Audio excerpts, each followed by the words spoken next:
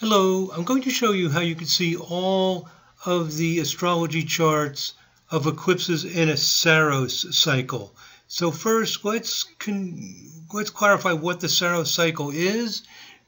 Here I've got a map. Um, I'm in the Sirius 2.0 software, and these are the eclipse maps. And and I've I have here the path of the eclipse on August 21st, 2017. I'm making this video on August 19, so two days from now, there's going to be this so-called Great American Eclipse, and here's the path from northwest part of the United States down to the southeast on August 21st, 2017. Now, what's interesting is if you go back in time, almost exactly 18 years, 11 days, and 8 hours, there was an eclipse. Is that amazing or what? I mean, it's a very regular event, almost exactly 18 years, 11 days, and 8 hours. And here's the path of the previous one. So that would have been uh, August 11th, 1990, is this path. So that's the path of an eclipse that occurred 18 years, 11 days, and 8 hours earlier. And here's the one 18 years before that. And, and it goes across here and then continues over here. So, and that was on July 31st, 1981. So it's quite fascinating um, eh, that there's this very regular pattern.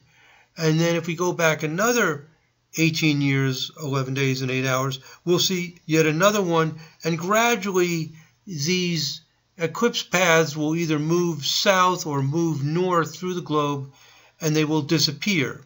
Um, so they have a lifespan and they begin and they end. This is the lifespan of the Saros cycle. Now, going back to my PowerPoint slide here.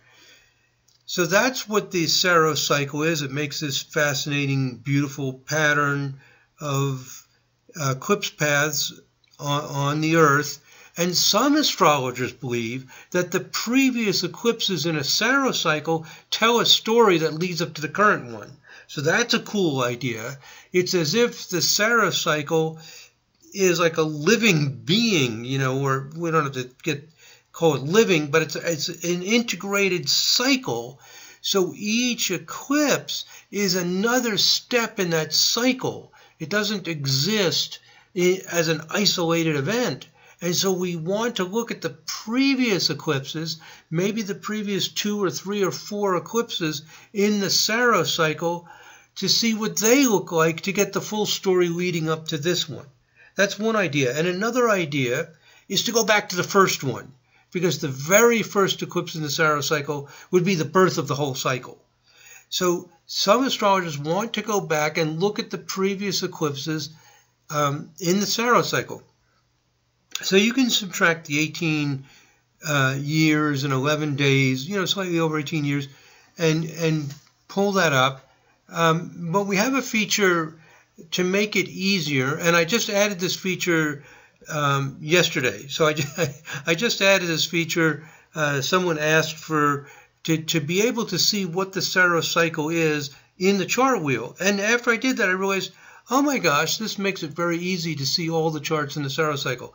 So let me show you how that's done um, in the Sirius software. And even if you don't have the software, it'll help confirm exactly how this how these Saros cycle charts uh, work.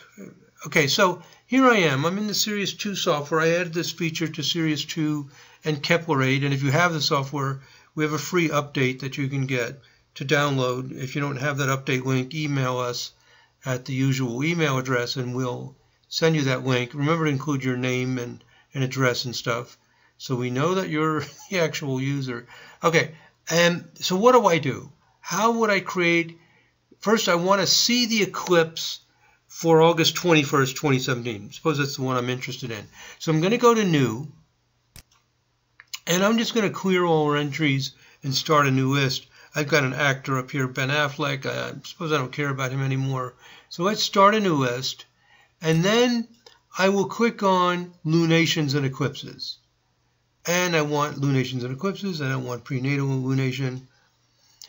and I'm going to select solar eclipses only. I'm going to select the day I want or some day close to it. So I happen to know the eclipse is on August 21st, 2017. So I put that date in there and I want just one eclipse. And by the way, there's a calculation method. If I click that button, we'll usually use the astrological method. I have a video um, explaining the difference between astrological and astronomical. Um, I have a separate video on that. But typically astrologers want the astrological method. So first I'm just going to do an eclipse um, for the date I want. And if you don't know the date, it'll just find the eclipse that's closest to the date you enter.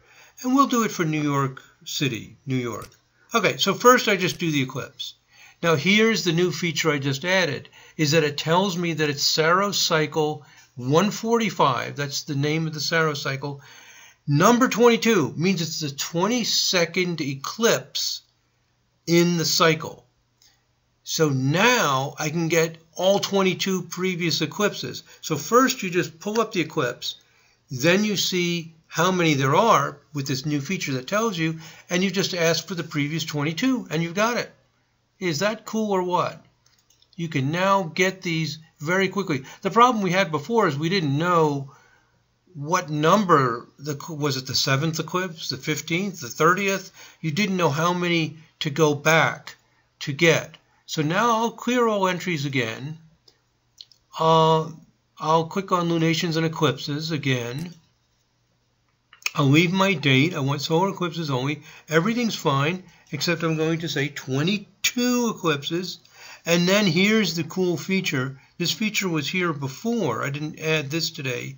Um, is to get the preceding eclipses, solar eclipses only, or lunar with more than one eclipse. Select eclipses in Saros cycle. Just by selecting this, it'll go back and instead of getting the previous eclipse, it'll get the previous eclipse in the Saros cycle.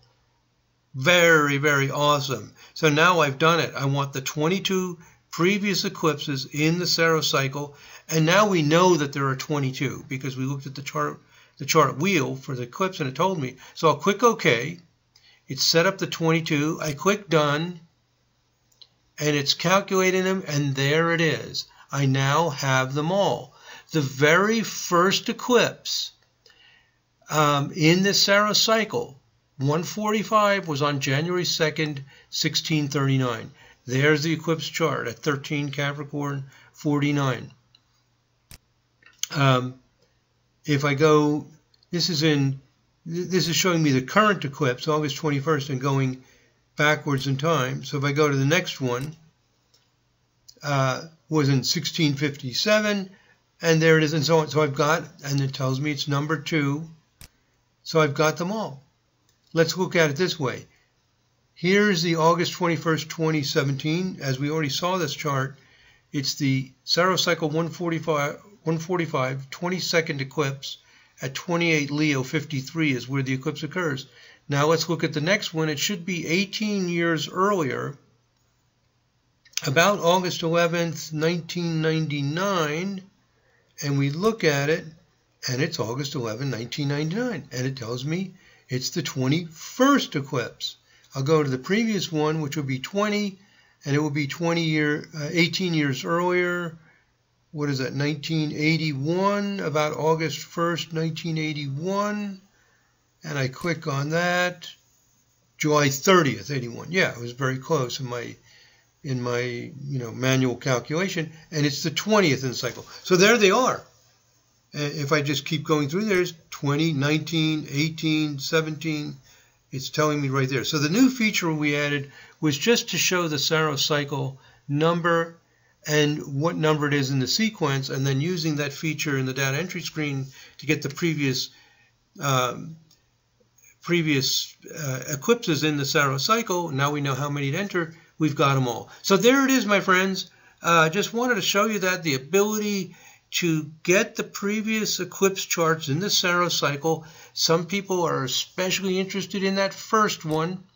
Um, so you've got that first one there. Maybe you're not interested in all these others, but but they're just there. Um, and you've got some people are interested in the very previous ones. uh, leading up to the current one. Some people are interested in all of them. So anyway, that's how you do it.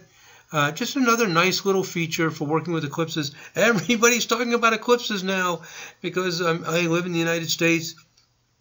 In two days, the this eclipse happens, the first eclipse that goes across the entire United States in a very, very long time. So everybody's got eclipse fever, and um, they're asking for features and so on. And this is one of the things we just did um, uh, just two days before the the eclipse on the 21st. Okay, my friends, thank you very much for listening. God bless. Namaste.